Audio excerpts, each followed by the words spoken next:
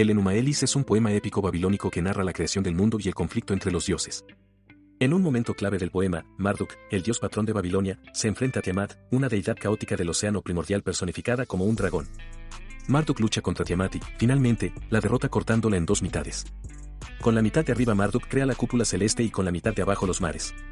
Este evento representa la victoria de Marduk sobre las fuerzas del caos y su ascenso al poder como el dios supremo. ¿Recuerdan el segundo día de la creación?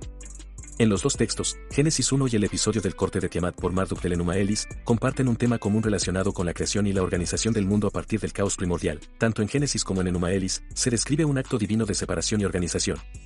En Génesis Dios crea un domo para separar las aguas y dar forma al mundo. En Enuma Elis, Marduk separa a Tiamat en dos mitades para crear el firmamento y establecer un orden en el cosmos. En ambos relatos, la separación y organización de elementos caóticos resulta en la formación de un mundo ordenado.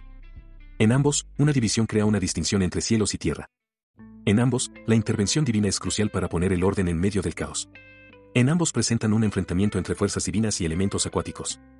Aunque también hay diferencias, la flecha que usa Marduk para vencer a Tiamat, la cual es obviamente una figura fálica, es reemplazada por las palabras que usa Elohim para dividir el tejón en forma de mandatos, igual al estilo de escritura en los textos de la fuente sacerdotal. A la vez que es similar al mito egipcio de la creación bajo las palabras del dios Amon-Ra. También difiere al mencionar a lo largo de los siete días de que lo hecho fue bueno, pero eso es igual que en Éxodo 25, y también es similar al mito acadio de la creación, donde Ninurta bendice cada cosa que va creando.